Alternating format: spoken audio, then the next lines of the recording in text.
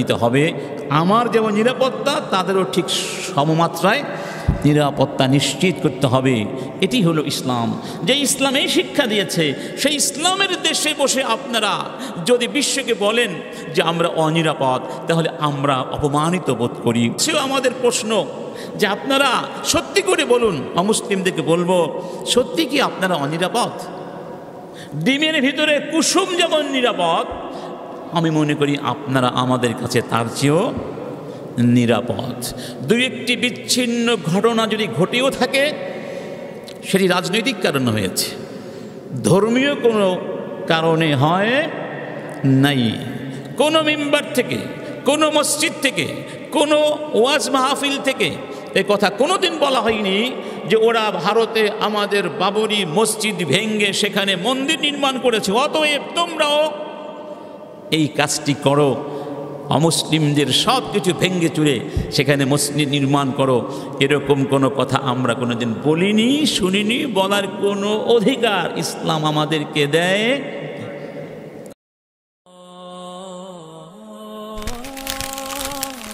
আইসিল media সত্য ও দিন প্রচারের লক্ষ্যে। রহমতুল্লাহি ওবরাকাতুহ الحمد لله الحمد لله رب العالمين والصلاة والسلام على سيد المرسلين محمد وعلى آله وصحبه أجمعين. أما بعد فأعوذ بالله من الشيطان الرجيم. بسم الله الرحمن الرحيم.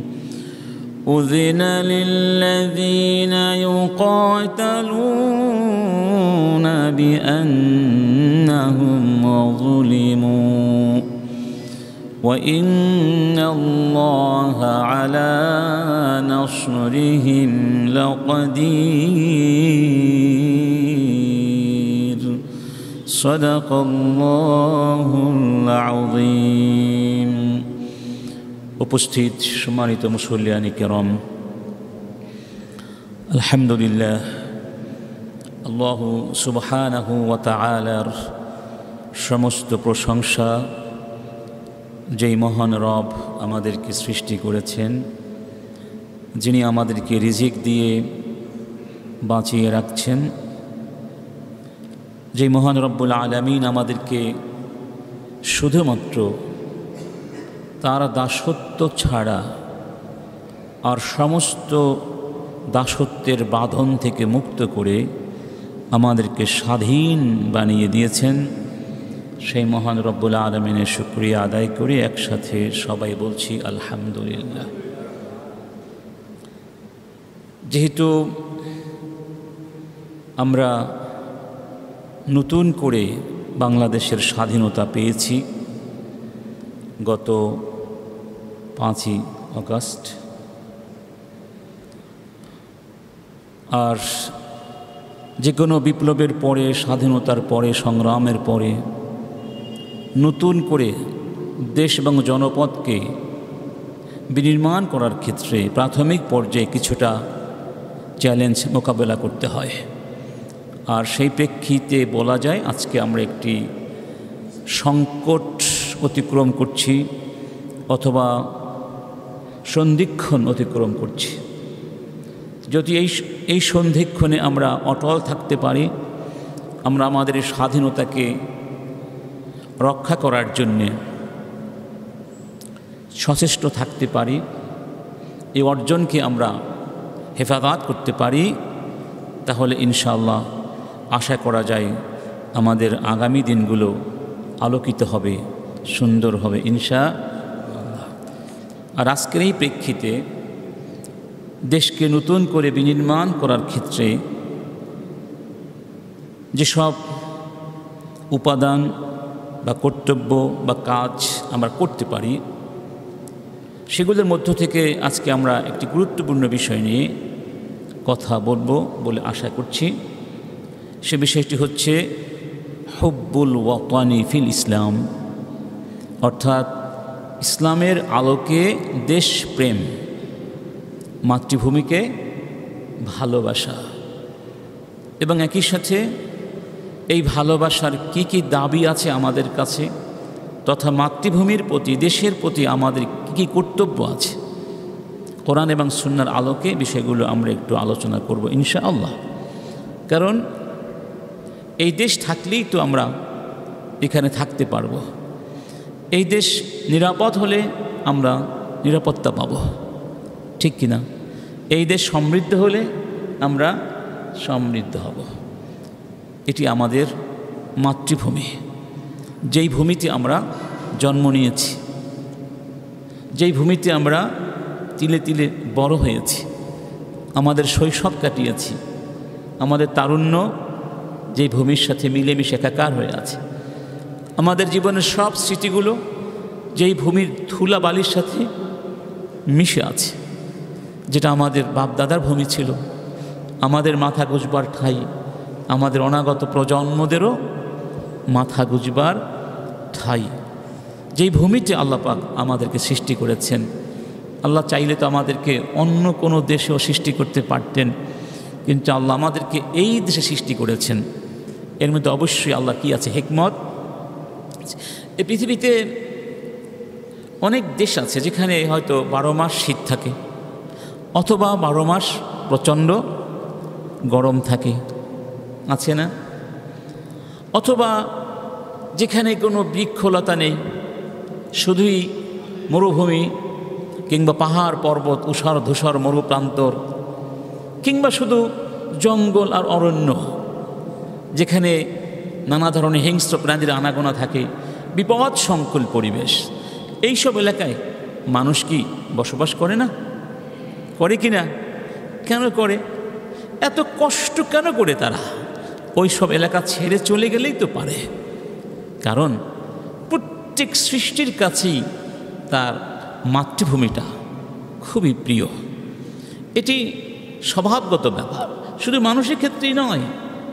জন্তু জানোয়ারকে দেখুন, একটা পাখি তার বাসায় যতক্ষণ থাকে, ততক্ষণ সে আনন্দে থাকে, সুখে থাকে। আপনি যদি তাকে ওই বাসা থেকে এনে মখমলের কাপড় পেঁচিয়ে স্বর্ণ দিয়ে তৈরি করা একটা জায়গায়ও রাখেন। সে সেখানে আনন্দ পাবে না। মাছগুলো হাজার হাজার মায়ের অতিক্রম করে সাঁতার কেটে চলে যায়। হয়তো ডিম পাড়তে আসে, আবার কিন্তু নিজেদের আপন আলয়ে চলে যায়। পাখিদের ব্যাপারেও তাই। হাজার হাজার মাইল কিলোমিটার অতিক্রম করে বেড়াতে আসে বাংলাদেশে। যাদেরকে আমরা বলি অতিথি পাখি, আবার আপন নিরে চলে যায়। তাহলে বোঝা গেল পশু পাখিরাও তাদের নিজেদের ভূমিতে, নিজেদের জায়গায় আনন্দ পায়। সুহান মানুষের বিষয়টিও এরকম। মানুষ পৃথিবীতে যা কিছু তার আছে মায়ামলিকুহুল ইনসান, যা কিছু আছে, এগুলোর মধ্যে শ্রেষ্ঠ হলো তার ধর্ম, তার আকিদা, বিশ্বাস ইমান ইমান আর ধর্মের পরে মানুষ যা কিছু অর্জন করে, যা কিছুর মালিক হয়, সেগুলোর মধ্যে সবচেয়ে দামি জিনিস হলো তার মাতৃভূমি।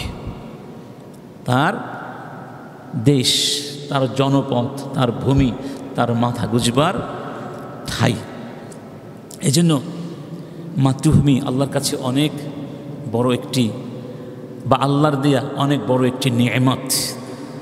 এজন্যই বলা হয়েছে মান আসবাহা মিনকুম আমিনান ফি সারবে মুআফান ফি জাসাদে وعنده قوت يومه فكأنما حيزت له الدنيا كلها যেই ব্যক্তি নিরাপদে তার ঘরে তার বাড়িতে তার তাঁবুতে রাত্রি যাপন করতে পারে মানে মাথা গুজবার যার একটা ঠাই আছে আর যেটা মাতৃভূমির একেবারে, কি বলা যায়, সারাংশ। এবং যার সুস্থতা আছে, একদিনের খাবারও যার কাছে আছে, গোটা পৃথিবী যেন তার হাতে ধরা দিয়েছে। তার মতো সুখী আর পৃথিবীতে কেউ এখানে প্রথম বলা হয়েছে সার্বে মানে তার যে বসবাস করার জায়গা। যেখানে আপনি, আমি রাত্রি যাপন করি। সারাদিন কর্মক্লান্ত হয়ে যেখানে গিয়ে ক্লান্তিহীনতা খুঁজি, বিশ্রাম খুঁজি, আনন্দ খুঁজি, তৃপ্তি খুঁজি, সুখ খুঁজি, সেটি তো আমাদের মাথা গুজবার ঠাই আর সেটিই আমাদের মাতৃভূমি, সেটি আমাদের দেশ, ঠিক না বে ঠিক? তো এই মাতৃভূমিকে ভালোবাসা, এটা হলো স্বভাবের যেমন দাবি, তেমনি ইমানেরও দাবি। স্বভাবের দাবি আর ইমানের দাবি যখন একাকার হয়ে যায়, তখন অবশ্যই যে কোনো বিষয়ের গুরুত্ব অনেক বেড়ে যায়। আর আমরা এটিও জানি, ইসলাম দিনুল ফেতরা স্বভাবজাত ধর্ম। অর্থাৎ ইসলাম এমন কিছু আপনাকে আমাকে চাপিয়ে দেয়নি, আমাদের উপরে চাপিয়ে দেয়নি যা আমাদের স্বভাব গ্রহণ করতে চায় না। স্বভাব বিপরীত, স্বভাব পরিপন্থী। স্বভাব পরিপন্থী কিছুই ইসলাম চাপিয়ে এই বিষয়টিও সেরকম একটা বিষয়। তো মাতৃভূমির এর গুরুত্ব কতটুকু তা আমরা একটু আলোচনা করছি কোরআন সুন্নার আলোকে। রব্বুল আলমিন বলছেন, ওয়ালাউ كتبنا عليهم أن اقتلوا أنفسكم أو اخرجوا من دياركم ما فعل ما فعلوه إلا قليل منهم আমি যদি ওদেরকে বলতাম ওদের উপরে এই বিধান আমি ফরজ করে দিতাম তোমরা একজন আরেকজনকে হত্যা করো, কিংবা তোমরা তোমাদের ঘর বাড়ি ছেড়ে মাতৃভূমি ছেড়ে বের হয়ে চলে যাও। মা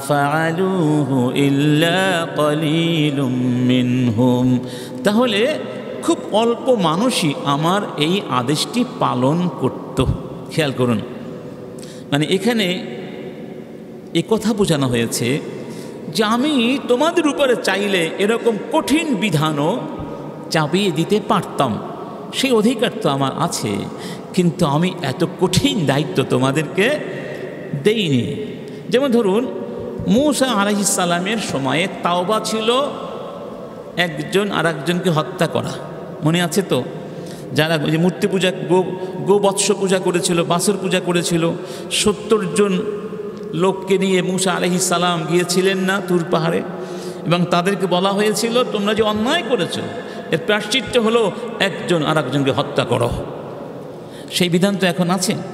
নেই, আল্লাহ সহজ করে দিয়েছেন সুহান আল্লাহ তাহলে এখানে আল্লাহ শুক্রিয়া আদায় করছি আমরা যে আল্লাহ এত কঠিন বিধান আমাদের উপরে চাপিয়ে দেননি, আমাদেরকে রহমত করেছেন।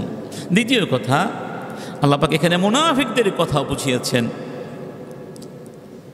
ইহুদিদের কথা বুঝিয়েছেন যে ওদেরকে আমি এই বিধান দিলে ওরা আসলে এগুলো মানত না।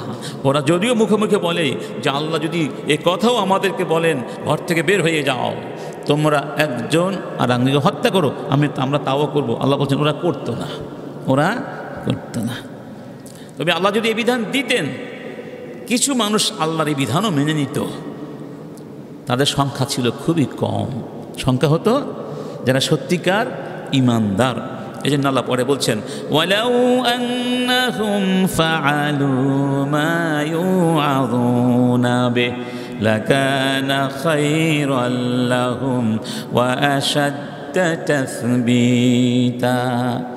ওরা যদি, আমি যা করতে বলেছি, যা ওদেরকে ওয়াজ করা হয়েছে, করতে বলা হয়েছে, উপদেশ দেওয়া হয়েছে, সেগুলো মেনে নিত, এর মধ্যে ওদের জন্য কল্যাণ ছিল এবং সত্যের উপরে দৃঢ় থাকা, থাকার ব্যাপারে এটা অনেক শক্তিশালী একটা অবস্থান বা উপাদান হিসাবে কাজ করত এখানে খেয়াল করুন, আল্লাহ কি বলেছেন? যদি আমি ওদের উপরে এই বিধান করে দিতাম যে তোমরা একজন আর একজনকে হত্যা করো অথবা তোমাদের বাড়ি ঘর থেকে বের হয়ে যাও। এখানে দুইটা অপশন, কয়টা? পরস্পরকে হত্যা করা অথবা বাড়িঘর থেকে বের হয়ে যাওয়া।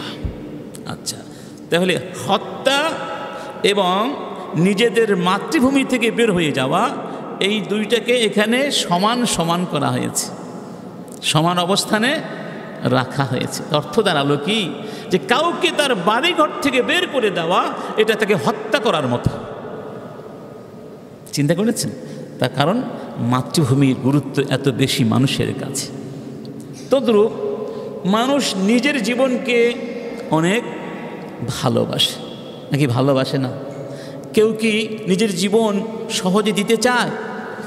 তো এই এখানে হত্যা মানে জীবন দেওয়া জীবন দেওয়া, এটা যেমন তার কাছে অপছন্দনীয়, নিজের মাতৃভূমি থেকে বের হয়ে যাওয়াটা অপছন্দনীয় উল্টো অর্থ হলো তার কাছে তার মাতৃভূমি তত্র প্রিয়, যেভাবে তার কাছে তার জীবনটা প্রিয়। কথা সত্য না বিটা কি সুন্দর কথা সুবাহান দেখেছেন? এই জন্য মানুষ দেশের জন্যে প্রাণ দিতে পারে। কত প্রাণ ঝরে গেছে, কত রক্ত ঝরে গেছে, যাইনি কত শহীদের তাজা রক্তে এই জমিন রঞ্জিত হয়েছে। কী জন্য জীবন দিয়েছেন তারা?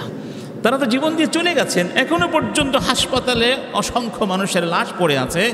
হাসপাতাল বিজ্ঞপ্তি দিয়েছে, এই লাশের কোনো হদিস পাওয়া যাচ্ছে না, কোনো ওয়ারিশ পাওয়া যাচ্ছে না। ওয়ারিশদেরকে লাশ খুঁজে নেওয়ার জন্যে বিজ্ঞাপন দেয়া হয়েছে। যেমন বলা হচ্ছে, লাশ লাগবে, লাশ লাশ লাগবে, লাশ। আজকে এক বাবা বলছেন, অভিভাবক, তার সন্তানও শহীদ হয়েছে। যে আমি আমার সন্তানকে যখন হাসপাতালে আনতে গিয়েছিলাম, সেখানে আমি প্রায় দুই শত লাশ শহীদকে দেখেছি। কয় শত? তাহলে কত শত শত মানুষ স্বৈরাচারীদের হাতে জীবন দিয়েছে এই দেশের জন্যে, হয়তো তাদের সঠিক পরিসংখ্যান হয়তো পাবো, আগামীতে আরও সূক্ষ্ম হিসাব পাবো। ইনশা কারণ একাত্তর সালে হয়তো এত হিসাব করার সুযোগ ছিল না যেটা আজকের যুগে ইনশাআল্লাহ তথ্য প্রযুক্তির কারণে অনেকটা সহজ হয়ে গেছে। ইনশা, কথা হচ্ছে তারা জীবন দিয়েছেন। কি জন্য দিয়েছেন? এই মাটির জন্যে। এই মাটিকে ভালোবেসে। সুবাহান আল্লাহ এই জন্য কোরআনুল করিমের ভেতরে ধর্ম আর মাতৃভূমিকে একসাথে উল্লেখ করা হয়েছে। রব্বুল আলমিন বলছেন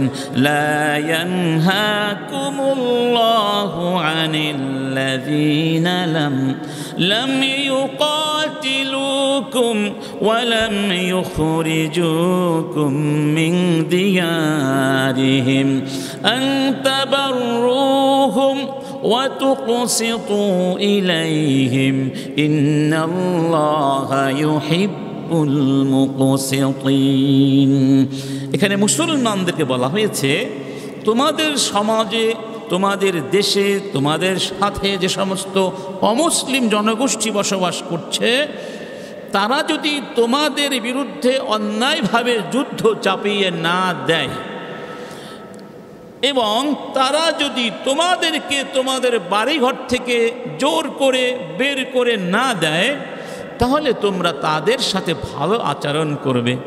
ন্যায় বিচার করবে এবং ভালো আচরণ করবে।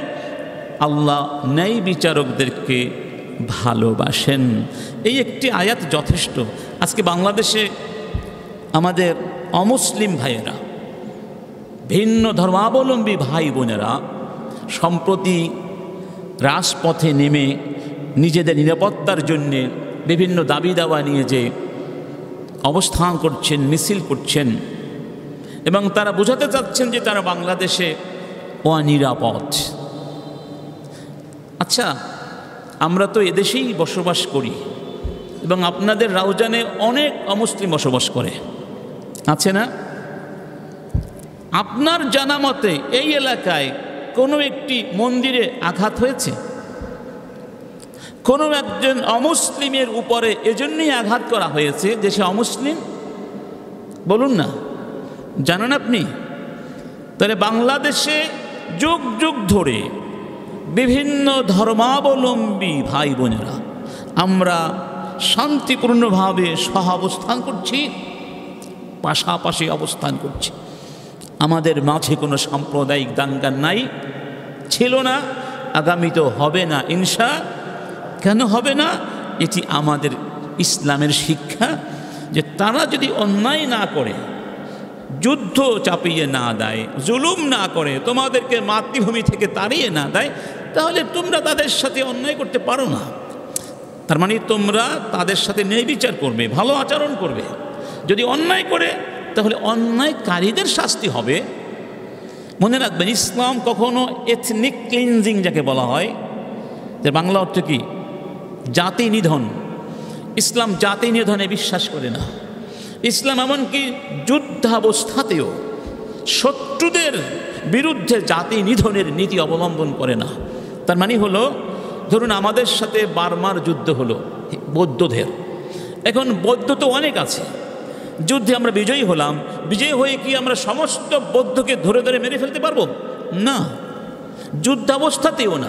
শুধুমাত্র যারা সামরিক কর্মকাণ্ড করবে, ষড়যন্ত্র করবে, যারা অপরাধী ক্রিমিনাল যারা দণ্ডনীয় অপরাধ করবে, তাদের ব্যাপারে সিদ্ধান্ত নেওয়া যাবে, পদক্ষেপ নেওয়া যাবে।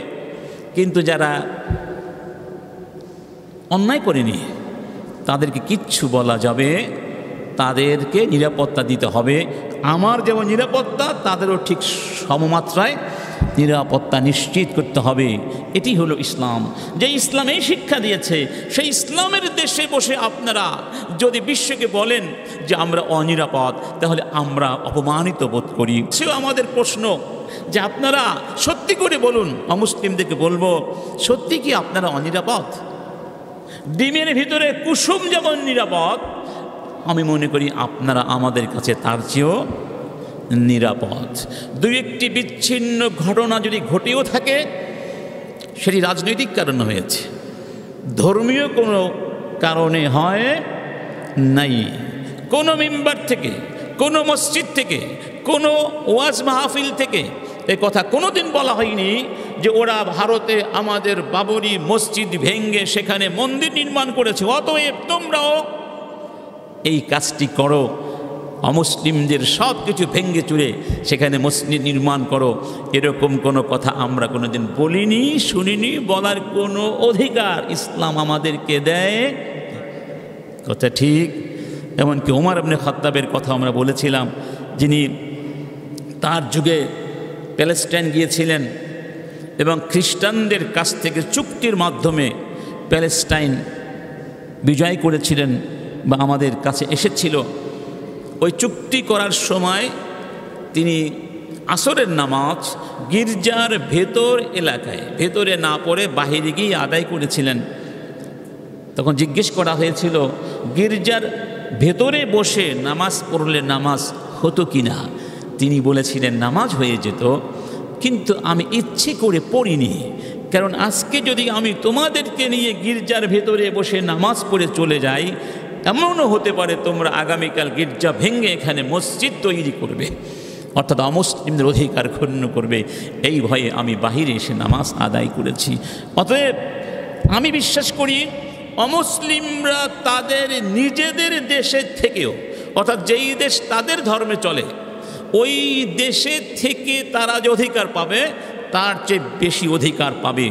তারা মুসলমানদের দেশে থাকলে কারণ ইসলাম এভাবেই অমুসলিমদেরকে কী করে? নিরাপত্তা বিধান করে। রাসুল বলেছেন, যেই ব্যক্তি কোনো অমুসলিম সংখ্যা লঘু অর্থাৎ যারা সংখ্যায় কম, যারা মুসলিমদের সাথে বসবাস করে, এরকম কাউকে যদি অন্যায়ভাবে হত্যা করে ফান হাজি জুহু আমি মোহাম্মদ ওই ঘাতকের বিরুদ্ধে কিয়ামতের ময়দানে আল্লাহর কাছে নালিশ করব, আমি তার প্রতিপক্ষ হব, আমি তার বিরুদ্ধে ওই অমুসলিমের পক্ষ হয়ে লড়ব কেয়ামতের ময়দানে। এরপরেও কি সহিংসতার কোনো সুযোগ এই সমাজে আছে? আমি অমুসলিম ভাইদেরকে বলব, আলহামদুলিল্লাহ এটাও ঠিক যে কিছু কিছু অমুসলিম ভাই তারা সত্য ধাবন করেছেন। অনেক হিন্দু, বৌদ্ধ, খ্রিস্টান সংস্থায় প্রতিবাদ করেছে এবং ভারত থেকে যে সমস্ত ফেক নিউজ এবং চিত্র প্রকাশ করে একটি সাম্প্রদায়িক দাঙ্গার সৃষ্টির উস্কানি দিচ্ছে, এর বিরুদ্ধে তারা কথা বলেছেন। আমি তাদেরকে ধন্যবাদ দিচ্ছি এবং যারা এই ফাঁদে পা দিয়েছেন, তাদের অনুরোধ করব দেশকে অশান্ত না করে আসুন আমরা সবাই মিলে দেশটি গঠন করি। আমরা সবাই বাংলাদেশি। সবাই কি? রসুল করিম সাল্লাহ আলাই সাল্লাম এই দেশ প্রেমে উজ্জীবিত হয়েই মূলত মদিনায় গিয়ে মদিনা সনদ প্রবর্তন করেছিলেন যাতে করে অমুসলিমরা নিরাপত্তা লাভ করে, নিরাপদ বোধ করতে পারে। এই মদিনা আমাদের সবার, সবাই মিলে মদিনাকে আমরা একসাথে গড়ব, সুবাহানুল্লাহ। তাহলে এই দৃষ্টিকোণ থেকে রব্বুল আলমিন বলছেন, তোমরা তাদের সাথে ভালো আচরণ করবে, ন্যায় বিচার করবে। এখানে কি বলা হয়েছে? যারা তোমাদের বিরুদ্ধে যুদ্ধ করে না এবং তোমাদেরকে তোমাদের ঘর বাড়ি থেকে বের করে দেয় না। এর অর্থ দাঁড়ায় যে নিজেদেরকে কাউকে তার মাতৃভূমি থেকে বের করে দেওয়া আর তার বিরুদ্ধে যুদ্ধ ঘোষণা করা এই দুয়ের মধ্যে কোনো পার্থক্য নাই। মোহাম্মদুল সাল্লাহ আলী ওসাল্লাম যখন হেরা গুহায় প্রথম ওহি পেলেন এবং ভয় পেয়ে গেলেন। কাঁপতে কাঁপতে আমাদের মা সৈয়দা খাদিজাতুল কোমরা রদিয়াল্লাহ আনহার কাছে গিয়েছিলেন। আমাদের মা খাদিজা নবীজিকে নিয়ে তার চাচাতো ভাই, প্রবীণ শিক্ষাবিদ, ধর্মবিদ ওরাকা বিন নাওফেলের কাছে গিয়েছিলেন। ওরাকা বিন নাওফেল আসমানি কিতাবের ব্যাপারে অভিজ্ঞ ছিলেন, বিজ্ঞ ছিলেন। তিনি সব কিছু শুনে বলেছিলেন যে, এমন একটা দিন আসবে, যেই দিন আপনাকে আপনার এলাকার লোকেরা মক্কা থেকে বের করে দিবে। তাকে কি বলেছিলেন? সুসংবাদ গ্রহণ করুন। আপনার কাছে যিনি এসেছিলেন, তিনি সেই সত্তা যিনি নবীদের কাছে আসতেন, অর্থাৎ জিব্রিল আলাইহিসাল্লাম তবে এ কথাও বলেছিলেন, সেদিন বেশি দূরে নেই। এই মক্কার জনগোষ্ঠী আপনাকে মক্কা থেকে বের করে দিবে। খেয়াল করুন, রসুল করিম এই কথাটি শুনে খুবই বিস্মিত হয়ে গেলেন, হতচকিত হয়ে গেলেন এবং বললেন, আওয়া মুখরেজিয়া হোম, সত্যি কি ওরা আমাকে মক্কা থেকে বের করে দেবে? তখন তিনি বলেছিলেন, নাম দিবে।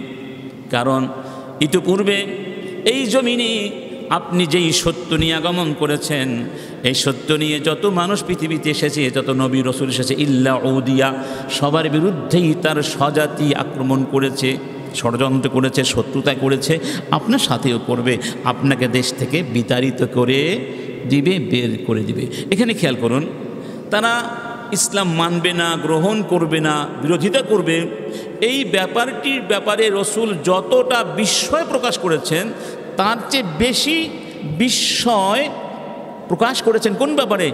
তারা কি আমাকে মক্কা থেকে বের করে দিবে? মানে তারা ইসলামের বিরোধিতা করতে করতে করতে করতে এমন পর্যায়ে চলে যাবে যে আমাকে আমার মাতৃভূমি থেকে বের করে দিবে। তাহলে মাতৃভূমি তার হৃদয়ের কোন স্থানে? জায়গা পেয়েছিল। এই বিষয়টি বোঝানোর জন্যে এই কথাটি বলেছেন। এবং রাসুল তার দেশকে, তার মাতৃভূমিকে কতটা ভালোবাসতেন, সেটি আমরা সবাই জানি। হাফেজ আজাহাবি রহমাহুল্লাহ, তিনি রাসুল কোন কোন জিনিস ভালোবাসতেন? রাসুলের মাহাবুবাত কি কি ছিল? এগুলোর কিছু বিবরণ দিতে গিয়ে বলেছেন যে ওয়াকানা ইউহিব্বু আয়েশা রদিয়াল্লাহ আনহা। তিনি আয়েশাকে ভালোবাসতেন।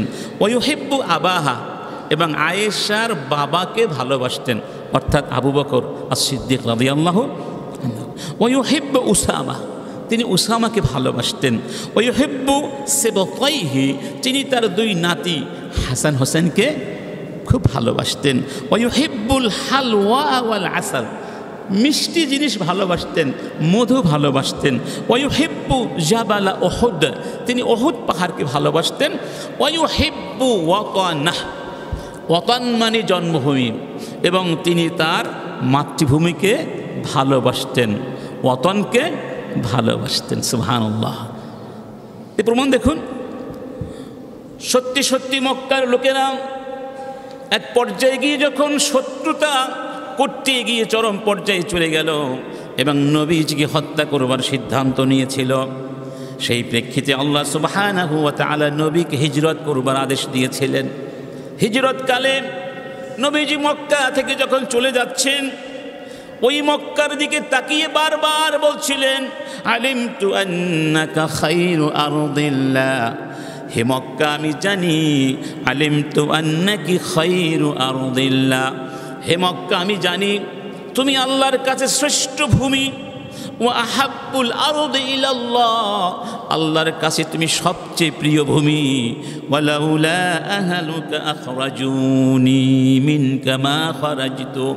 তোমার অধিবাসীরা আমাকে যদি যেতে বাধ্য না করত, আমি তোমাকে ছেড়ে কোথাও যেতাম অন্য রেওয়ায়তে বলা হয়েছে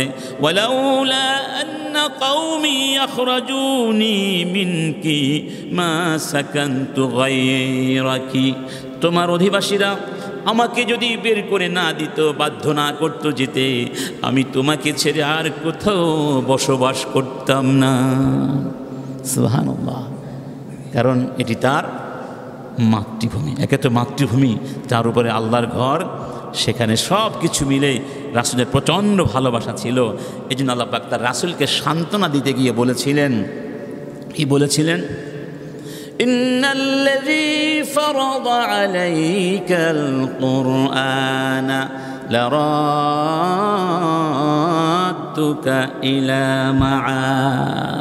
হে রবি, হে নবী, চিন্তা করো না, কষ্ট নিও না। যেই রব্বুল আলমিন তোমার উপরে কোরআন নাজিল করেছেন, তিনি তোমাকে আবার মক্কায় ফিরিয়ে আনবেন। ইবনে আব্বাস এই কথাই বলছেন, ইলা মক্কা, আপনাকে আবার মক্কায় ফিরিয়ে আনবেন। এনেছিলেন না?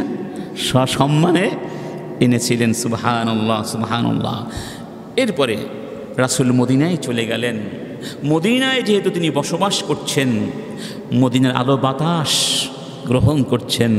মদিনাকেও তিনি মাতৃভূমির মতো করে ভালো বেশ, বেসেছিলেন, ভালোবাসার চেষ্টা করেছিলেন। তার বোঝা গেল, আমরা যখন যেখানেই থাকি, ওটা আমাদের এক ধরনের দেশ। ওই দেশের আলো বাতাসের সাথে আমাদের কি হয়ে যায়? সম্পর্ক হয়ে যায়। রসুল করিম বলতেন, আল্লাহর কাছে দোয়া করতেন, আল্লাহুম্মা হাব্বিব ইলাইনাল মাদিনা কা হুব্বিনা লি মাক্কাতা আও আসাদ্দা হে আল্লাহ মক্কাকে আমরা যেভাবে ভালোবাসি, ঠিক সেরকম ভালোবাসা আমার মধ্যে, আমাদের মধ্যে তৈরি করে দাও মদিনার প্রতি, বরং তার চেয়েও বেশি ভালোবাসা তৈরি করে দাও সুবাহান্লাহ তিনি মদিনাকেও ভালোবাসতেন। হাতে যে পাওয়া যায়, আনাস বিন মালিক বলছেন, কেন রসুল্লাহ ইদা কদিমা মিন সাফার। যখন রসুল সফর থেকে আসতেন ধরুন কোনো যুদ্ধে গিয়েছেন অভিযানে গিয়েছিলেন, কোথাও গিয়েছিলেন, দূরের অভিযান থেকে যখন ফিরে আসতেন মদিনা। ফিরে আসার সময় যখন মদিনা দেখা যেত, দূর থেকে ওই যে মদিনা দেখা যায়, মদিনার বাড়িঘরগুলো দেখা যায়। কথা তখন তিনি তার উঠকে দ্রুত চালাতেন। ওই দেখান মিন হুব্বিহা। এবং যদি দাব বা অন্য কোনো বাহন থাকতো, যেমন গাধা, খচ্চর, তাহলে ওই বাহনকে খুব দ্রুত চলতে উদ্বুদ্ধ করতেন মদিনার ভালোবাসার টানে। মদিনার ভালোবাসার আসলে বাচ্চাভূমির ভালোবাসা, এটা অন্যরকম একটা ব্যাপার। যারা প্রবাসে গিয়েছেন, তারা কিছুটা অনুধাবন করবেন। সাত বছর পরে, আট বছর দেশে আসলে, যখন এয়ারপোর্ট থেকে বিমান থেকে বাংলাদেশ দেখা যায়, তখন সত্যিটি কান্না আসে? এমন একটা অনুভূতি সৃষ্টি হয়, যার কোনো তুলনা হয় না, যেটা ভাষা দিয়ে ব্যক্ত করা যায় না। যাই হোক, তো রসলি করিম সাল্লাহ সাল্লাম মদিনায় গেলেন। কিছুদিন পরে আসিল নামে এক সাহাবি মক্কা থেকে মদিনায় হিজরত করেছিলেন বা গিয়েছিলেন। রাসুল তাকে বললেন ইয়ে আসিল কাইফা তারাক্তা মক্কা আসিল, মক্কাকে কেমন দেখে আসলে, মক্কাকে কীভাবে রেখে এসেছ? মানে মক্কার কিছু বিবরণ দাও। আসিল খুব সাহিত্যিক মানুষ ছিলেন। খুব কঠিন ভাষা দিয়ে, সাহিত্য দিয়ে মক্কার বিবরণ এভাবে দিয়েছিলেন, ইয়া রসুল আল্লাহ তারাক্তুহা অখাত উহা واخضرت مسلاتها وانشر سلامها واعذق اذخارها واجهن ثمامها শব্দগুলো অনেক কঠিন অর্থগুলো অনেক কঠিন ভাবার্থ হলো আমি মক্কাকে যখন ফেলে এসেছি আমার পেছনে তখন মক্কা ফুলে ফলে সুশোভিত মানে বৃক্ষরাজি সবুজতা দিয়ে, শ্যামলতা দিয়ে সেই পাহাড়ি এলাকা ঘিরে ফেলেছে। সবুজে সবুজে আচ্ছাদিত হয়ে গেছে।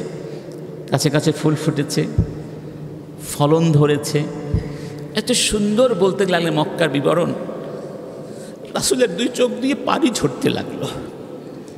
এবং বললেন, ইয়া আসিল ইয়া আসিল দাইল কলুব তাকির, লা তুসাউকুহুম ইলা মক্কা। আর বলো না, আসিল, এবার থামো। মনগুলোকে বক্কায়, মনগুলোকে মদিনায় স্থির হতে দাও। এই মনগুলোকে, এই মানুষগুলোকে মক্কার দিকে আর পাগল বানিয়ে দিও না, মক্কার জন্য পাগল বানিয়ে দিও না। এমনিতেই মন মক্কার জন্য কি? পাগল হয়ে আছে। আর বলো না, এবার থামো। চিন্তা করেন যে মক্কার ভালোবাসা রাসুলের মনের মধ্যে কতটা প্রবল ছিল যে মক্কার যে বিবরণ, মক্কার পাহাড়গুলোর বিবরণ, মক্কার উদ্ভিদগুলোর বিবরণ, মক্কার বৃক্ষরাজের বিবরণ, মক্কার পাথরগুলোর বিবরণ শুনে রাসুল কাঁদতে লাগলেন। যেন তার মন আর মদিরায় বসছিল না। মক্কার জন্য পাগলের মতো, পাখির মতো উড়ে যাচ্ছিল। এটি হলো ভালোবাসা, মাতৃভূমির ভালোবাসা। আজকে আলোচনা কি? মাতৃভূমির ভালোবাসা আমাদের করণীয়। এই মাতৃভূমিকে ভালোবাসতে হবে। আমরা অনেকেই উদাসীন হয়ে বসে আছে, যা হবার হোক না, এত মাতামাতি করার কি আছে? অনেকে ভাবি, দেশ নিয়ে ভাবি না, দেশের চিন্তা অনেকে করি না। মনে করি, অমুক তো আছি, আমি না করলে কি হবে, না? এ দেশকে আপনার ভালোবাসতে হবে। আমার ভালোবা প্রত্যেকেরই নিজের মাতৃভূমিকে ভালোবাসতে হবে। মাতৃভূমির মাটিকে ভালোবাসতে হবে। আসল বলেছেন, যখন এটা বিশুদ্ধ হাদিস, কি অসুস্থ হয়ে যেত ধরুন ব্যথা করছে বা আঘাত পেয়েছেন, রাসুল কি করতেন? বলতেন বিসমিল্লা রাসুল তার হাতটা তার থুথু লাগিয়ে মাটিতে রাখতেন। এরপরে এই দোয়াটি পরে ওই জায়গায় হাতটা, ভেজা হাতটা লাগিয়ে দিতেন। লোকটা সুস্থ হয়ে যেত সুবাহান্লাহ কি বলতেন? বিসমিল্লাহ। তুরবাতু আরও দিনা তুরবা মানে মাটি। আরও দিনা মানে ভূমি। আমাদের এই ভূমির মাটি। বেরি কাতি বা আদিনা। আমাদের কারও কারও মুখের লালার সাথে। ইউসফা বিহা সাকিমুনা। এর দ্বারা আমাদের অসুস্থ ব্যক্তি সাকিমেন অসুস্থ, এর দ্বারা আমাদের অসুস্থ ব্যক্তি ইনশাআল্লাহ সুস্থ হয়ে যাবে বেজনি রব্বিনা। আমাদের রবের নির্দেশে, সুবাহানুল্লাহ। দেশের দেশের মাটি, কি বলেছেন? তুরবাত আরও দিনা আমাদের এই ভূমির মাটি। এর বিজ্ঞানীরা এই হাদিস ব্যাখ্যা করার চেষ্টা করেছেন যে মাটির সাথে দেহের সুস্থতার সম্পর্কটা কি? এর অনেক ব্যাখ্যা দিয়েছেন বিজ্ঞানীরা, আরও হয়তো আসবে। এই হাদিসটি অনেক হয়তো প্রথমবার শুনেছেন, অনেক হতে পারে। কারণ আপনি, আমি যেই এলাকায় বসবাস করি, ওই এলাকার মাটি, ওই এলাকার পানি, ওই এলাকার আবহাওয়ার জন্য এই দেহটা কি? ফিট হয়ে গেছে। বুঝতে পেরেছেন? ওই এলাকার মাটিটা এই দেহটা চেনে। ওই এলাকার পানি এই দেহটা চেনে। ওই এলাকার বাতাস এই দেহটা চিনে। এবং ওই দেহের সাথে মাটির কি আছে? সম্পর্ক আছে। আধ্যাত্মিকভাবে আছে এবং বস্তুগতভাবেও আছে। সুবাহান আল্লাহ সুবাহান আল্লাহ আল্লাহ সুবাহানা হুয়া তালা কোরআনের ভিতরে সাহাবিদের প্রশংসা করেছেন বিভিন্ন জায়গায়। কারণ তারা হলেন এই উম্মতের শ্রেষ্ঠ প্রজন্ম। কার পরে মোহাম্মদুন রসুল্লাহ সাল্লাহ আলহি ওসাল্লামের পরে। রব্বুল আলমিন বলছেন للفقراء المهاجرين الذين أخرجوا من ديارهم وأموالهم يبتغون فضلا من الله ورضوانا وينصرون الله ورسوله أولئك هم الصادقون الله سبحانه وتعالى এখানে ওই সব সাহাবিদের কথা বলেছেন যারা হিজরত করে মক্কা থেকে মদিনায় চলে গিয়েছেন যে তাদের জন্য একটা অংশ থাকবে গণিমতের ভেতরে বা রাষ্ট্রের অনুদানের ভেতরে কাদের জন্য যারা হিজরত করেছেন দরিদ্র। ও খরিজু মিং দিয়ারিহিম, যারা তাদের বাড়ি ঘর থেকে বহিষ্কৃত হয়েছেন, যাদেরকে বাস্তু ভিটা থেকে বের করে দেয়া হয়েছে, যাদেরকে তাদের সহায় সম্পদ থেকে বের করে দেওয়া হয়েছে, যারা আল্লাহর অনুগ্রহ অনুসন্ধান করছেন, আল্লাহর সন্তুষ্টির অন্বেষণ করছেন, যারা আল্লাহ এবং রাসুলকে সাহায্য করছেন মানে দিনের পক্ষে দাঁড়িয়েছেন তাদের জন্যে। তাহলে এখানে সাহাবিদের প্রশংসা কেন করা হয়েছে? কারণ তারা তাদের প্রাণের চেয়ে প্রিয় মাতৃভূমিকে ছেড়ে হিজরত করেছিলেন। তাহলে বোঝা গেল মাতৃভূমি অত্যন্ত প্রিয় জিনিস মানুষের কাছে। এটি বোঝা গেল। এমনকি মাতৃভূমির জন্যে রব্বুল আলমিন বা ইসলামে যুদ্ধ পর্যন্ত করার অনুমতি দিয়েছেন, নির্দেশনা দিয়েছেন। এবং মাতৃভূমিকে রক্ষা করার জন্য কেউ যদি মারা যায়, সেই ব্যক্তিকে ইসলামে শহীদ বলে গণ্য করা হয়েছে। মান কৌটিলা রসুল করিম বলেছেন, মান কুচিলা দুনা মালিহি ফাহুয়া শাহিদ। যেই ব্যক্তি নিজের ধন সম্পদ রক্ষা করতে গিয়ে মারা যায়, সেই ব্যক্তি শহীদ। ওমান কুচিলা দুনা আহলিহি ফাহুয়া শাহিদ। যেই ব্যক্তি তার আহাল পরিবারকে বাঁচাতে গিয়ে জীবন দেয়, সে শহীদ। দিনিহি ফাহুয়া শাহিদ। যেই ব্যক্তি তার ধর্ম রক্ষা করতে গিয়ে জীবন দেয়, সেই ব্যক্তি শহীদ। ওমান কুচিলা দুনা দিনিহি ফাহুয়া শাহিদ। যেই ব্যক্তি ধর্ম রক্ষা করতে গিয়ে মারা যায়, সেই ব্যক্তিও কি? শাহিদ। এখানে ধরুন কয়েকটা আছে। সম্পদ, জীবন, আহাল পরিবার। এই সবগুলোই কিন্তু সম্পৃক্ত মাতৃভূমির সাথে। ঠিক না? আপনার সম্পদ কোথায়? আপনার মাতৃভূমিতে। আপনার বাবা মার সন্তান কোথায় মাতৃভূমিতে আপনি কোথায় মাতৃভূমিতে তাহলে বোঝা গেল এই সব কিছুর একটা প্রাণ শক্তি হচ্ছে মাতৃভূমির ভালোবাসা রবুল আলমিন বলছেন أذن للذين يقاتلون بأنهم ظلموا وإن الله على نصرهم لقدير যাদেরকে অন্যায়ভাবে তাদের বাড়িঘর থেকে বের করে দেয়া হয়েছে, যাদের বিরুদ্ধে অন্যায়ভাবে যুদ্ধ চাপিয়ে দেয়া হয়েছে, তাদেরকে আমি অনুমতি দিয়ে দিলাম, তোমরা এবার যুদ্ধে ঝাঁপিয়ে পড়ো। মক্কি জীবনে হিজরতের আগে প্রতিরোধ করবার অনুমতি দেওয়া হয় নাই। শুধু বলা হয়েছে, সবর করো সবর করো সবর করো। তারা নির্যাতন সহ্য করেছেন, কিন্তু প্রতিবাদ করেন নাই। তাদের বিরুদ্ধে যুদ্ধ করার অনুমতি আসে নাই। মদিনায় যাওয়ার পরে যেই আয়াতের মাধ্যমে প্রথমে ইসলামে জিহাদের তথা সশস্ত্র যুদ্ধের অনুমতি দেওয়া হয়েছে, এটি হলো সেই আয়াত। সুর হাজের মধ্যে বলছেন যে তাদেরকে তাদের বাড়ি ঘর থেকে বের করে দেওয়া হয়েছে, অন্যায়ভাবে, এবং যুদ্ধ চাপিয়ে দেওয়া হয়েছে তাদেরকে আমি অনুমতি দিলাম, এবার তোমরা আত্মরক্ষার জন্য ঝাঁপিয়ে পড়ো। এখানে কি বলা হয়েছে? যাদেরকে তাদের মাতৃভূমি থেকে তাড়িয়ে দেওয়া হয়েছে, বের করে দেওয়া হয়েছে। তাহলে বোঝা গেল যে মাতৃভূমিকে উদ্ধার করার জন্য, মাতৃভূমিতে ফিরে যাওয়ার জন্য, মাতৃভূমিকে রক্ষা করার জন্য জিহাদের পারমিশন এসেছে। সুহান আচ্ছা। অন্য এতে বলা হয়েছে وما لنا ألا نقاتل في سبيل الله وقد أخرجنا من ديارنا وأبنائنا তারা বলল আমাদেরকে যদি আমাদের মাতৃভূমি থেকে বের করে দেয়া হয় আমাদের আত্মীয় স্বজন ছেলে মেয়ে হাল পরিবার থেকে বিতাড়িত করে দেয়া হয় তাহলে যুদ্ধ না করার আর কি কারণ থাকতে পারে?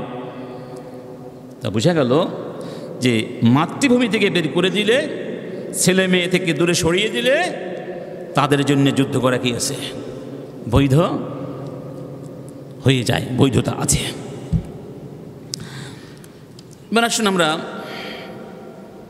আমাদের যারা পূর্বসূরি ছিলেন, তাদের কিছু সুন্দর সুন্দর অভিমত এই ব্যাপারে শুনি। প্রসিদ্ধ সাহাবি উমর আবনে খাত্তাব, তিনি বলতেন আম্মার আল্লাহুল বেলেদা বেহব্বিল আওতান যে আল্লাহ এই দেশগুলোকে, রাষ্ট্রগুলোকে, জনপদগুলোকে সমৃদ্ধ করেন, বিনির্মাণ করেন, তামির করেন, আবাদ করেন ওই মাতৃভূমির ভালোবাসা দিয়ে। ভালোবাসা যদি আমাদের মাঝে ভালোবাসা থাকে মাতৃভূমির প্রতি, তাহলেই তো আমরা এই দেশের উন্নয়নের কাজ করব। আর এই ভালোবাসা যদি আসলে না থাকে, তাহলে শুধু পাচার করব। কি করব? কি করব? প্রায় চৌরানব্বই বিলিয়ন মার্কিন ডলার পাচার হয়েছে। Ninety four million, sorry, billion, ninety four billion dollar US dollar পাচার হয়েছে বাংলাদেশ থেকে। এবং ninety three point three billion US dollar আমাদেরকে ঋণের বোঝা হিসাবে দেয়া হয়েছে। কথা বুঝতে পেরেছেন? মানে ঋণ করে কর্মা পোলাও খাওয়ার মতো অবস্থা হয়েছে। এত বিশাল ঋণের বোঝা। এটা আমাদেরকে এখন বহন করতে হবে। আমাদেরকে বহন করতে হবে। যাই হোক আলিব নাবি তলেব তিনি একই কথা বলেছেন অম্মেরাতি দুনিয়া বি হব্বিল ওয়াতন, হব্বুল ওয়াতন মাতৃভূমির ভালোবাসা দিয়েই এই দুনিয়াকে আবাদ করা হয়েছে। ইব্রাহিম বিন আদহাম, তিনি বলতেন, মা আলাস্তু শাইআন আসাদ্দা মিন মুনাজাআতিন নাফসি লিল ওয়াতন।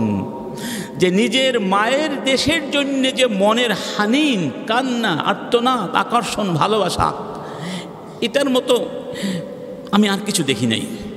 মানে অনেক কিছু আছে যেটা আকর্ষণটাকে স্থিমিত করা যায়।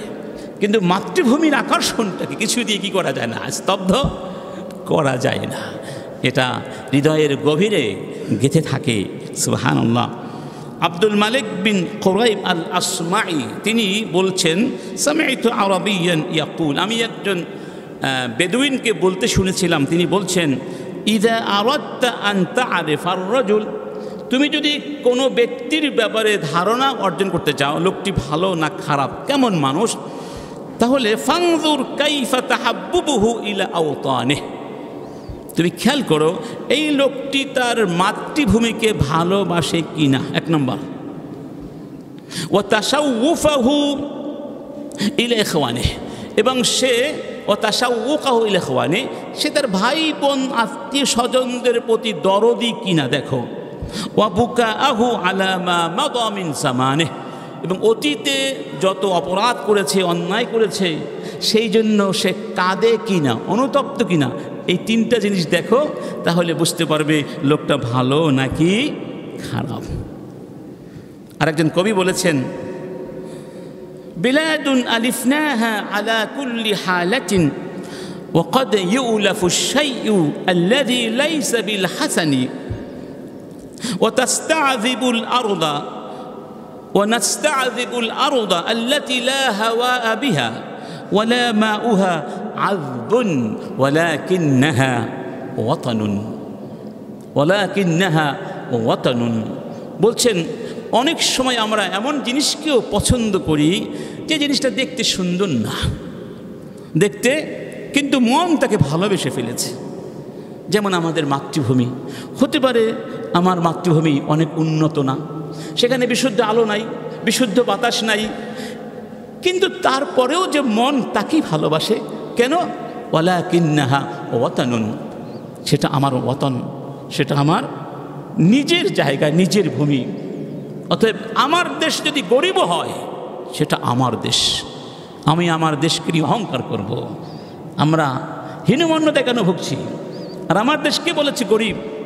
আমার দেশের, আমাদের দেশের সন্তানের এই বিদেশে গিয়ে বিদেশ, তারা অন্য জাতিগোষ্ঠীকে সাহায্য করছে, তাদের সমৃদ্ধি, সভ্যতা, তার অবদান রাখছে, কিন্তু আমরা তাদেরকে ধরে রাখতে পারিনি। একটু পরে সেটা বলব। আলী ইবনে আবি তালেব আরও বলতেন আনহু, মিন সাআদাতির রজুলি খামসুন। পাঁচটা জিনিস যেই ব্যক্তি অর্জন করবে, সে সাআদার মধ্যে আছে, সুখে আছে। সুখের উপাদান পাঁচটি। মুওয়াফিকাহ ভালো স্ত্রী, অনুগত স্ত্রী। ও আউলাদুহু আবরারা। এবং যার সন্তানগুলো দিনদার হয়, মোত্তাকি হয়, ভদ্র হয়। ও এখওয়ানহু আতকিয়া, যার ভাইয়েরা মোত্তাকি। ও জিরানহু সলেহীন, যার প্রতিবেশীরা সলেহীন। ও রেস্কুহু ফি বাল্লাদেহ এবং যার রিজিক তার দেশের মধ্যে থাকে। মানে উপার্জন করার জন্য বিদেশ যেতে হয় না। আসলে কথা একেবারে সত্যি কথা। যারা উপার্জন করার জন্যে আমরা বিদেশ যাই, প্রবাসে থাকি, তারা যে কত কষ্টে আছি, তারাও কষ্টে আছে। এদিকে স্ত্রী, ছেলে, সন্তান সবাই তো কষ্টের মধ্যে থাকে। শুধু জীবিকার জন্যে এই সব কষ্টকে তারা হাসি মুখে বরণ করে নিচ্ছেন বইকেই। কিন্তু এটা কি আসল সুখ? আসল সুখ নয়। নিজের এলাকার মধ্যে যদি উপার্জন করা যায়, সেটি হলো সুখ। তার মানে হলো নিজের এলাকাকে ডেভেলপ করতে হবে। আমার দেশকে আমরা মিলে আমাদের দেশকে উন্নত করব। আমরা কেন সিঙ্গাপুর হব? সিঙ্গাপুর বাংলাদেশ হবে। তারা বলবে, আমরা বাংলাদেশের মতো হব। যেমন আজকে ভারতে বলুন, পাকিস্তানে বলুন, তারা আমাদের ছাত্র আন্দোলন থেকে উদ্বুদ্ধ হয়ে রাস্তায় নেমে গেছে। আমরা এখন গোটা বিশ্বের জন্য আমাদের সন্তানের এখন কি হয়ে গেছে? অনুকরণীয় আদর্শ স্থাপন করেছে তা আল্লাহ আকবার। তাহলে এটাতে শুরু হয়েছে ইনশাআল্লাহ। আমরা আশাবাদী স্বপ্ন দেখি আমাদের এই তরুণীরা আমাদেরকে সত্যি সত্যি বিশ্বের মানচিত্রে সবচেয়ে শ্রেষ্ঠ সম্মানের জায়গায় নিয়ে যাবে ইনশা। তবে সেজন্য আমাদেরকে কিছু কাজ করতে হবে। কী করতে হবে? কাজ। এই কাজগুলো আমাদের মনে রাখতে হবে। একটি হলো দোয়া করতে হবে কার কাছে? কারণ সমস্ত ক্ষমতার মালিককে এই মুহূর্তে যারা বাংলাদেশে আছেন, যারা গত প্রায় ষোলো বছর ধরে অপেক্ষা করছিলেন নতুন সূর্যের জন্য, প্রত্যেকে স্বীকার করতে বাধ্য যে এই বিপ্লবের পেছনে যেন আল্লাহর সরাসরি সাহায্য আছে। এটা আমরা অনুভব করছি। সুহান আল্লাহ তো যিনি আমাদেরকে সাহায্য না করলে এত দ্রুত আমরা বিজয় পেতাম না। এমনকি স্বৈরাচারী দোসররাও বলছে, আমরাও চিন্তা করি নাই। কিছু একটা এরকম হতে পারে, তাদেরও চিন্তা ছিল না। তাহলে ধরা পড়তাম তা সব পালিয়ে, আগেই পালিয়ে যেত। পালাবার সুযোগ পায়নি। পালাবার সুযোগ, যেমনটি আল্লামা সাইদি বলেছিলেন, ইন্দুরের গর্ত খুঁজে পাবে না। আর দুই একজন গেলেও ওই গাছের ধাক্কায় দিল্লিতে মামুবাড়ি গিয়ে পড়বে। আল্লাহ দেখেছেন তার কথাগুলো হুবাহু মিলে যাচ্ছে না? আল্লাহ আল্লাহ। দোয়া করতে হবে যে আল্লাহ তুমি আমাদের এই দেশকে কবুল করো, শান্তি বিধান করো, নিরাপত্তা নিশ্চিত করো এই দেশে। আমাদের ভেতরে ভালোবাসা, সম্প্রীতি সৃষ্টি করে দাও। আমরা এখানে স্পষ্টভাবে বলতে চাই, যারা স্বৈরাচারের, স্বৈরাচারকে সরাসরি সহযোগিতা করেছে, যারা ক্রাইম করেছে, তাদেরকে ক্ষমা করা যাবে না। কিন্তু যারা ক্রাইম করে নাই তাদেরকে আমরা কি করব না? কষ্ট দেব না। কারণ তারা নিরাপরাধ মানুষ। নিরাপরাধ প্রত্যেকের একটা সাপোর্ট থাকতে পারে। আপনি, আমি কারও মনের উপরে আধিপত্য বিস্তার করতে পারি না। তবে তাদের কাছে আমাদের একটা আবেদন থাকবে। সেটি হলো, একটু চিন্তা করুন। গত ষোলো বছর ধরে যে নির্যাতনগুলো করা হয়েছে সব কিছু বাদও যদি দেওয়া হয় এদেশের আঠারো কোটি মানুষকে ভোট থেকে বঞ্চিত করা হয়েছে। এটা তো অনেক বড় একটা অন্যায়। এর চেয়ে বড় অন্যায় দরকার আছে? আয়না ঘরের মতো নির্যাতনের কি বলা যায়? এই পৃথিবীর সভ্য ইতিহাস কলঙ্কিত হয়েছে আয়না ঘরের মাধ্যমে। এটাও একটা যথেষ্ট। আপনারা তাওবা করুন। তাওবা করুন। এই স্বৈরাচার অন্ততপক্ষে যতদিন আপনারা আছেন এবং যেই প্রজন্ম বিপ্লব ঘটিয়েছে, এই প্রজন্ম যতদিন আছে, এই স্বৈরাচার বাংলাদেশে আর সুবিধা করতে পারবে না। আপনি, আমি হয়তো চলে যাব, আমাদের সন্তানও থাকবে, ইনশা, ওরা দেখে, ওরা সচক্ষে দেখেছে। অতএব আপনি তওবা করুন। কেন তওবা করবেন? কারণ তারা অন্যায় করেছে। অনেক অন্যায় করেছে। আপনি অন্যায়কারীর সমর্থন কেন করবেন? আপনাকে তো মরতে হবে। দুই নম্বর, তারা যে আদর্শে বিশ্বাস করে, তার নাম ধর্ম নিরপেক্ষতাবাদ।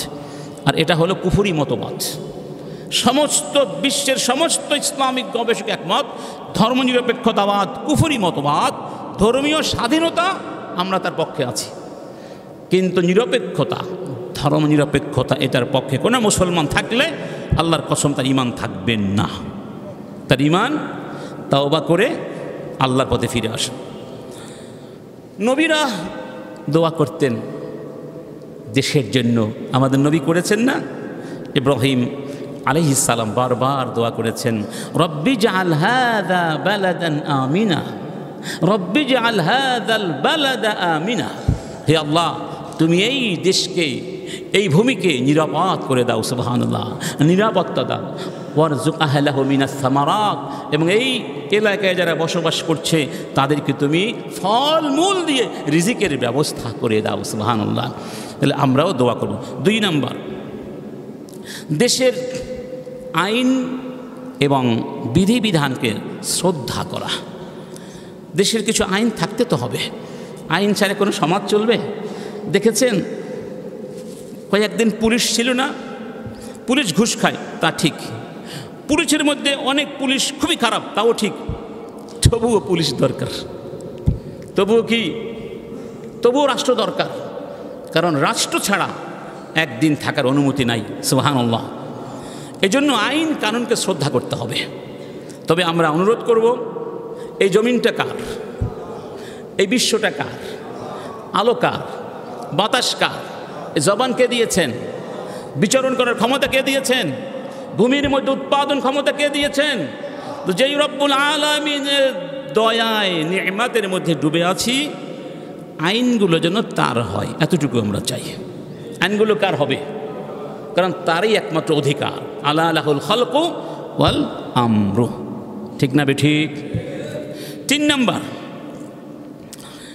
বাংলাদেশ বলতে কি শুধু একটা দল বুঝায় না রাউজান বুঝায়? শুধু রাউজান না, এই মানচিত্রে, এই ভৌগোলিক সীমারেখার মধ্যে যে আলো আছে, বাতাস আছে আকাশ আছে, জমি আছে, মানুষ আছে, হিন্দু আছে, মুসলিম আছে, বাড়ি, ঘর, পরিবেশ, প্রতিবেশ, পশু, পাখি, নদী, নালা, সব মিলে আমাদের মাতৃভূমি। ঠিক না ঠিক?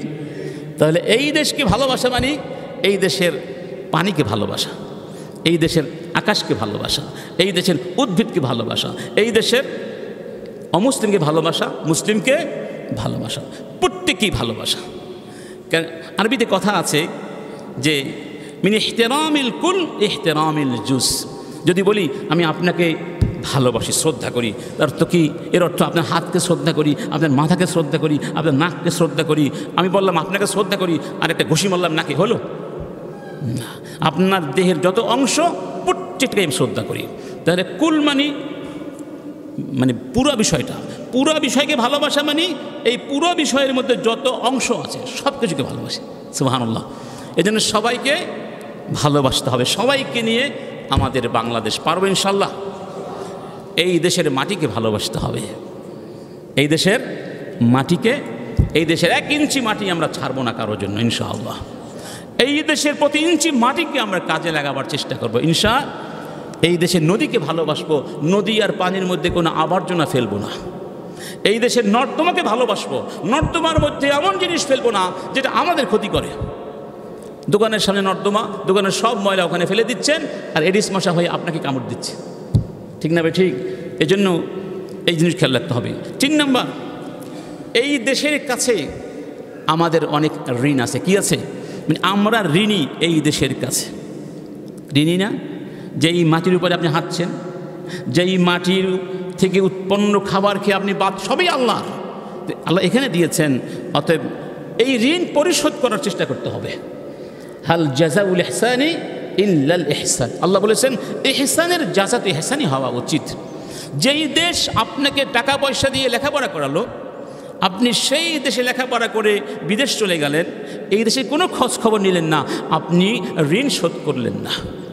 ঋণ শোধ করার মতো নয়, তবে কিছুটা হলেও তো ঋণ শোধ করা উচিত। উচিত না ভাই? এই জন্য এটা খেয়াল রাখবেন।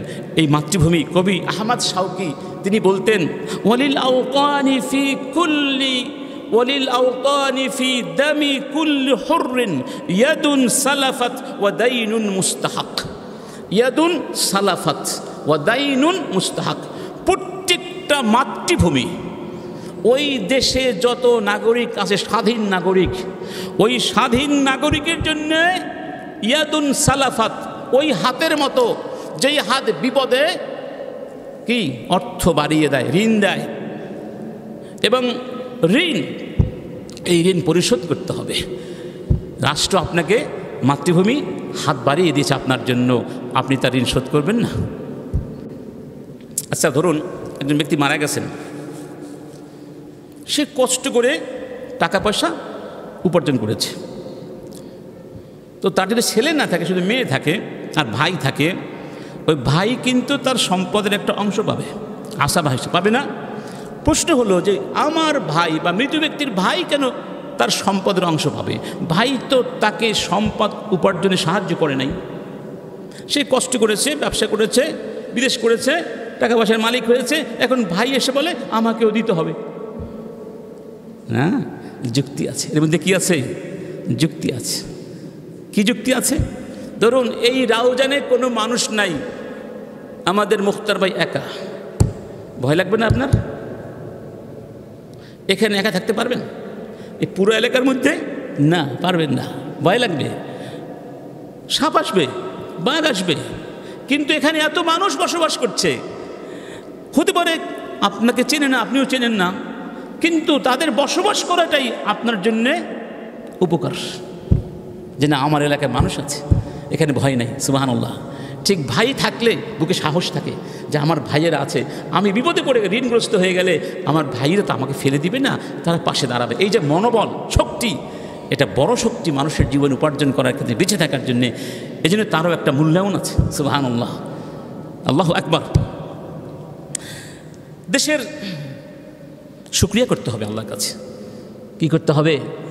রব্বুল আলমিন বলছেন وضرب الله مثلا قرية كانت آمنة আজকে এখানেই থাক আমরা একটা চ্যাপ্টার আলোচনা করলাম মাতৃভূমির ভালোবাসা এর গুরুত্ব আরেকটি শুরু করেছি আমাদের কাছে মাতৃভূমির কী কী অধিকার আছে এই বিষয়টি আজকে শেষ করা সম্ভব যেহেতু নয় এখানে শেষ করছি আগামী জুমাতে ইনশাআল্লাহ এই বিষয়ে ডিটেলস আলোচনা করব ইনশা আমাদের কাছে এদেশের কি কি অধিকার আছে, আমাদের কী দায়িত্ব আছে, এটা অবশ্যই আমরা সবাই জানার চেষ্টা করব, ইনশা আল্লাহ রবুল্লা আলমিন আমাদের দেশকে কবুল করে নিন। এই মাতৃভূমিকে কবুল করে নিরাপত্তা নিশ্চিত করুন, আমাদের সবাইকে এই দেশের জন্যে কাজ করবার জন্য তৌফিক দান করুন। সবাই দাঁড়িয়ে কাতারগুলো সোজা করে নিন।